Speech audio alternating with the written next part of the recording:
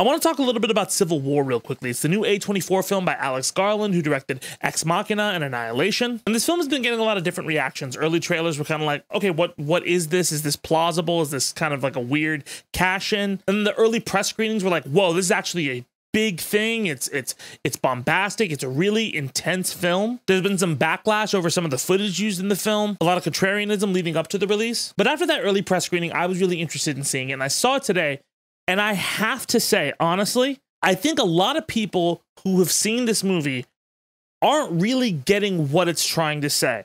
So I want to talk a little bit about it and what it means and give you my thoughts. And by the way, I'm not going to spoil anything. If I do decide to go into any spoilers, I will label them and you can know so you can skip that part. But right off the bat, yeah, this movie is intense. Alex Garland is a phenomenal director. He puts the camera in the right place. He just kind of lets life happen, it feels like, on screen. The film's tone is nuanced but direct. But I think something that people need to know is the sound design of this film is fucking incredible.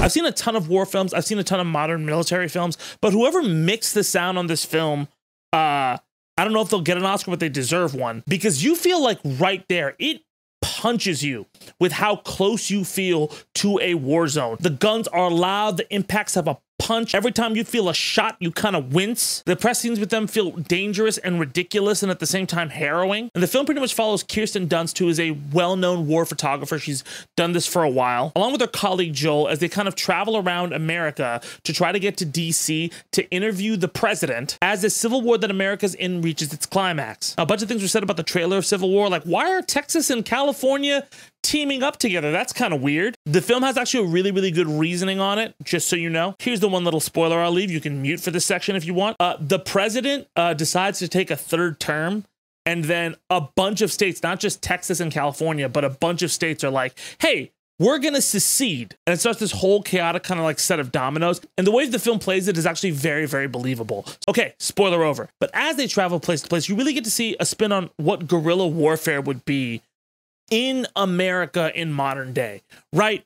It's both less crazy with the pop culture still there and people are still dressed in flannels and everything like that, but it's also more horrific when you see all of those things explode when somebody runs into a crowd and blows themselves up. Kirsten Dunst is incredible here, as is Wagner Moura and Cailee Spaeny, who is this young photographer who looks up to Dunst's character. A lot of the film is told kind of through their relationship. And I think it's a great way to set the viewpoint of all of these events happening because you get to see a multitude of decisions people make when there is wartime. The acting is superb, coupled with the production value.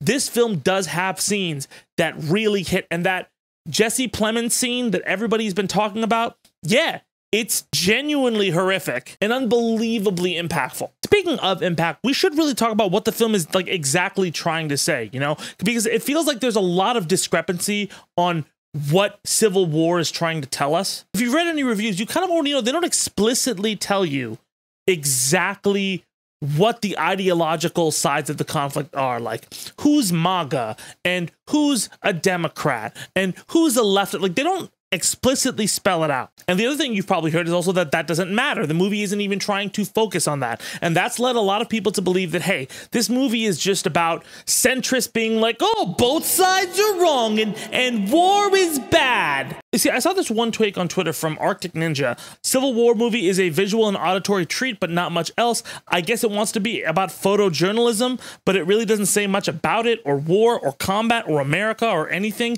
An odd, good looking film that doesn't go anywhere near its full potential but it, it has statements on all of those. Now, that guy replied to me and he was very nice in his reply, but I do think that he missed like a lot of pretty clear signs of what the movie's trying to say. And I think there's a very cogent message which he missed and which a lot of people are missing. First off, while it doesn't explicitly state what the sides believe, there are some pretty clear hints as to what the ideologies actually are. They're mentioned sprinkled throughout the film's dialogue and, and pretty heavily hinted at. Secondly, there's a scene in the middle of the movie, super light spoilers because it's in the trailers, where they go into the middle of a town and it's kind of like really nice and it feels like just like an everyday American town from now. And they walk into a shop and they're like, hey, you know, there's like a a civil war going on here. And it's played up like these people just are trying to be like, oh, we don't, we just try to stay away from that. Hey, you want to buy some shit? That and a few other things are played up as a pretty direct criticism of like, oh, well, both sides are wrong. There's like a pretty huge civil war going on all across America. Oh, sure, but we just try to stay out.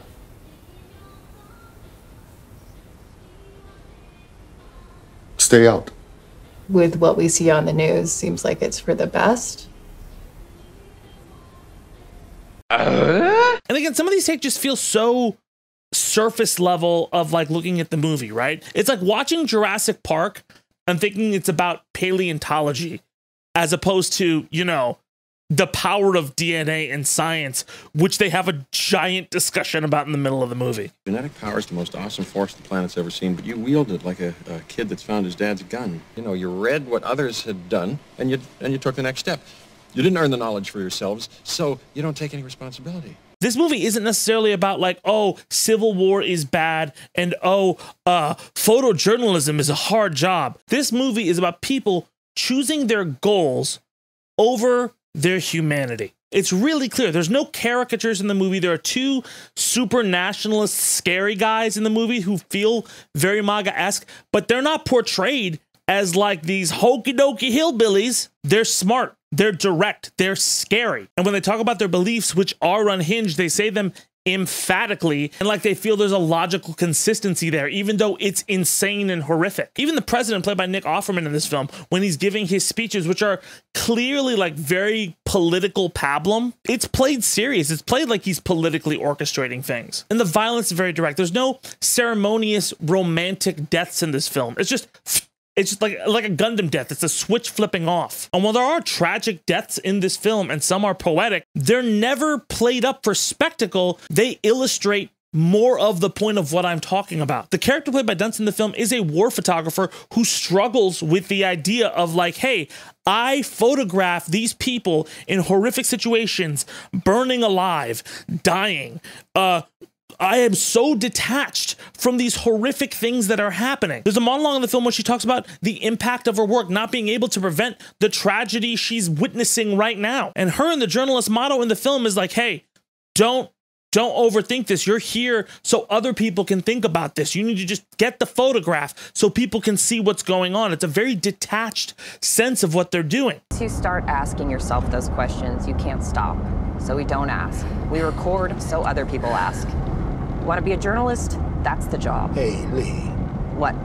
Back off. And so many people are clinging on to that detachment and not what the film is directly trying to tell you that these people, the army, the Western liberation forces, the president, everybody in this world has an ideological identity and they will shut off their feelings for that identity and commit war crimes. They'll make mass graves. They'll cry over their loved ones and then kill somebody else's loved ones. And it's all played straight. And that's what makes it horrifying. The other controversy that comes up is footage used by Andy NGO, who is thanked in the end credits. Andy NGO, by the way, is a fucking asshole on Twitter who loves to stoke the culture war. Very alt right, some would say fascistic guy. I completely understand where that's coming from, especially because I fucking hate that guy. However, the film is pretty not in line with what that guy thinks. As well, there's only about like two seconds out of a two hour and five minute film that are used, like literally two seconds. Like you blink and you miss it. And lastly, I don't know if that specific footage is available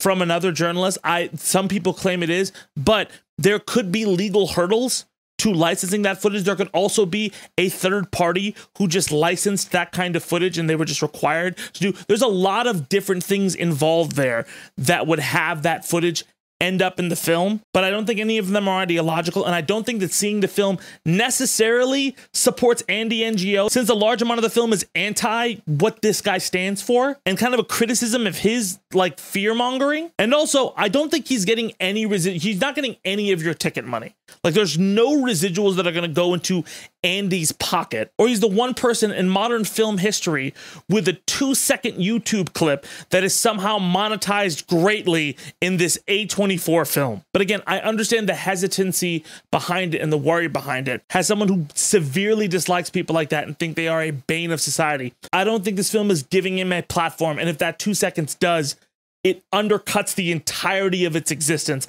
by everything they say afterwards. And I think what they're saying is important because, listen, I talk about this every week. We live in a world where you can believe all of the right things, all of the right things. You can believe, hey, listen, uh, trans rights are human rights, and uh, black people shouldn't get stopped by the police. Uh, and Panic at the Disco is not the greatest band in the world. Take that, Irvine. You could believe all of the things that are meant to better fellow people, and you can still be a monster.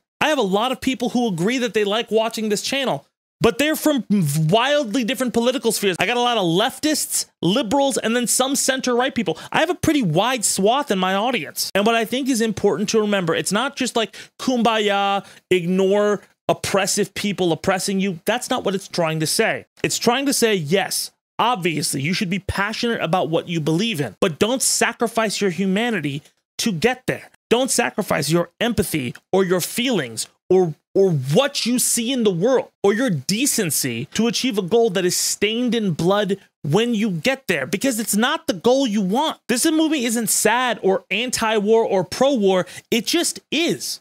This is just what people do. They compartmentalize the parts they don't believe in and then they commit war crimes. And by the way, it's believable.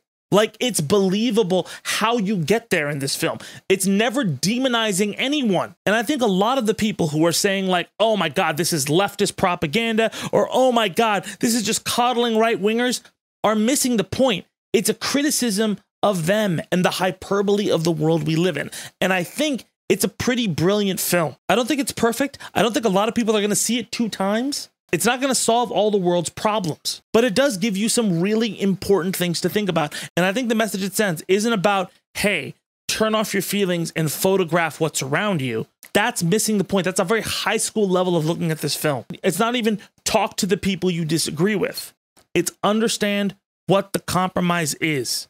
Understand that there is a point to where this doesn't become about your ideology anymore. It becomes about your tribalism. And the last thing I'll say, and this is not a spoiler, but near the end of the film, one of the characters does choose their humanity over their ideology in the film. And there are ramifications to that. And it's not romantic. The situation we are in as a people is not romantic.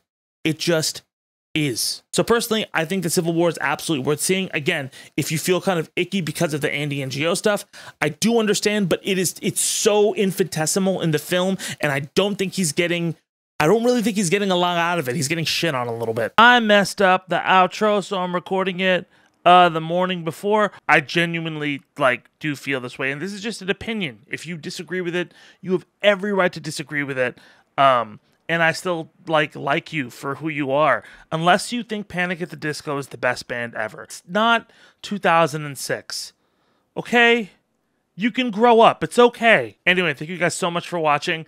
Uh, we got a brand new freestyle of the news this weekend. Anyway, my name is Zaid Tabani, and I'll see y'all soon. Let's go!